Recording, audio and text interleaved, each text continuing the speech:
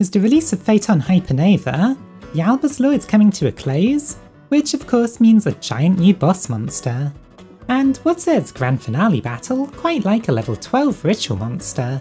Introducing Dogmatika Albazoa, the CEO of Hating Your Opponent's Extra deck. Other than his huge stats at 4000 each, he also gives protection to all of your Dogmatika monsters, making them unaffected by extra deck monsters' effects. That's kinda nice since together with Right Relic of Dogmatika, they'll also be protected from battle with extra deck monsters too, so he's a pretty difficult guy to remove unless you just have back row to do the job. But he also has an activated effect, which is where it starts to get interesting. Upon activation, your opponent can choose whether they want to return all of their extra deck monsters back to where they came from, or they can instead lose cards from their hand or extra deck, up to how many cards are in their extra deck, divided by 2. So basically if they have a full extra deck, that would be 7 cards lost, which for some combo decks that go through most of it in one turn, will completely shut them down, forcing them to instead discard from the hand. To make getting to this card, along with the other Dogmatika rituals, easier, we now also have Dogmatika Matrix. It's a continuous spell that searches them on activation, or searches their ritual spells if you already have them. Plus if your opponent already has a monster on board, so if you're going second, or just fighting Tearlament, you get to search a second Dogmatika card, which could be any of the ritual things you need, or even Ecclesia for further searching. It also has an effect that lets you send cards from either your extra deck or your opponent's, so again that's more searches for you, or just more destruction of your opponent's extra deck. So now we have a more consistent deck with a strong boss monster and lots of extra deck hate. But compared to my last Ritual Dogmatika video, I did some cool combos and even ended with Destiny Hero Plasma on board, it's just not quite as flashy, is it? Sadly, that deck has completely died with the ban list, so I knew I needed to do something a bit cooler with this one. Introducing another new card, Dyna Mondo. It's a Link 2 that needs a ritual to work and has two effects. One letting you bounce a card on the field while recycling a ritual monster, and the second, which is the interesting one, allowing you to summon a ritual monster from the graveyard as a quick effect.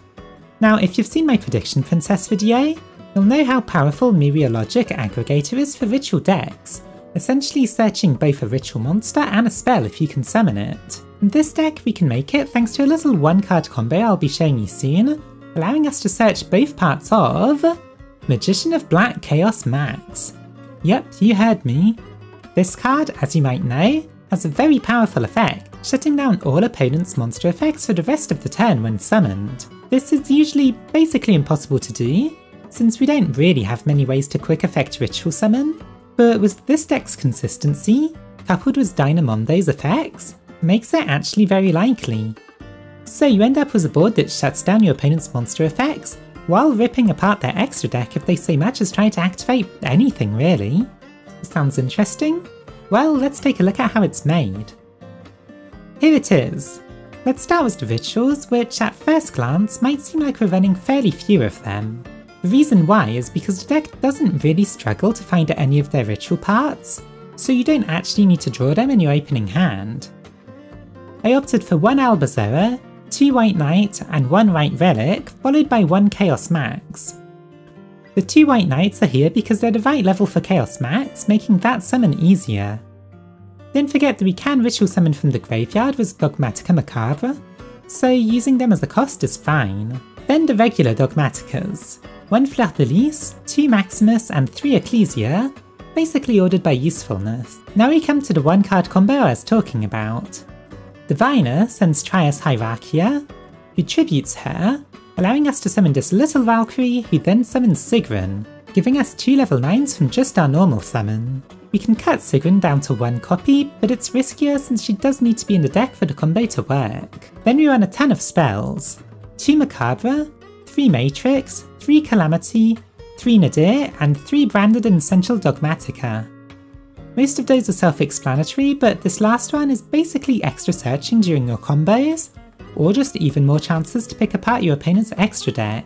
Then as generic spells, you run 3 pre-prep, 1 Chaos Form to summon Chaos Max, and 2 Pot of Avarice, which could also be Prosperity or anything else you want really.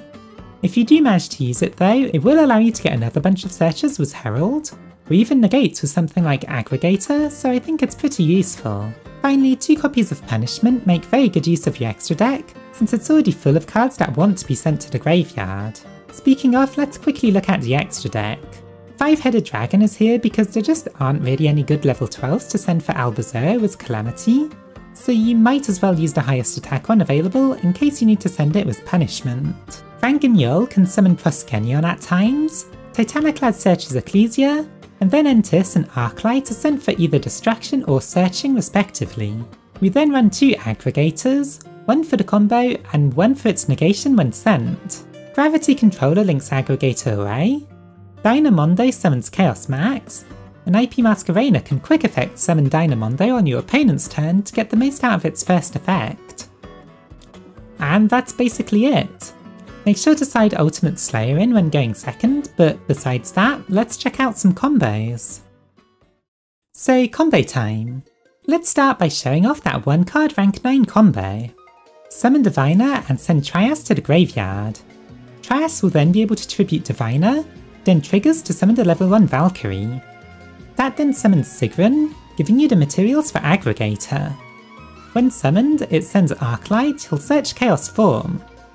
Now use Aggregator's other effect to swap its materials for Arclight and anything else, before linking it into Gravity Controller to trigger Arclight a second time, this time getting you a Chaos Max. Don't forget to negate something with Aggregator if your opponent controls something.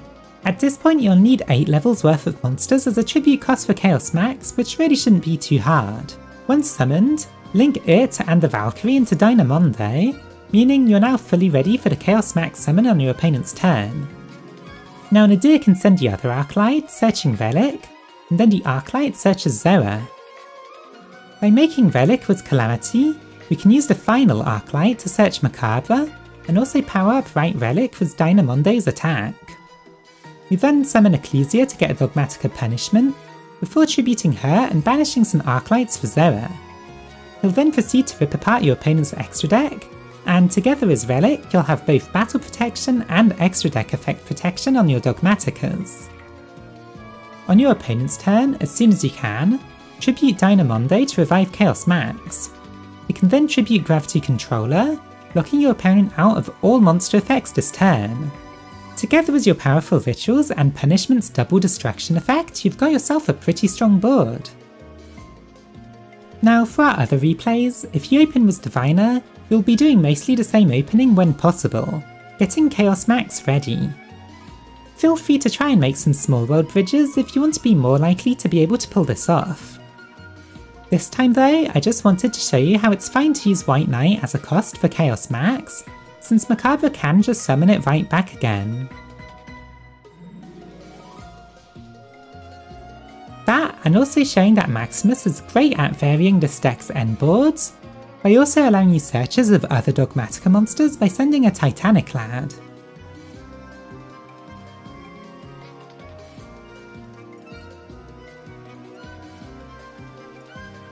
This time, I wanted to try and make use of IP Masquerena, which just involves using the Valkyrie as a material. We'll be making Alba Zoa early, making sure the opponent loses a ton of cards from the extra deck, especially combined with Matrix's second effect. Thanks to all the searching, we'll end up with both Punishment and Fleurdelis ready to go, in case the Chaos Max gets impermed.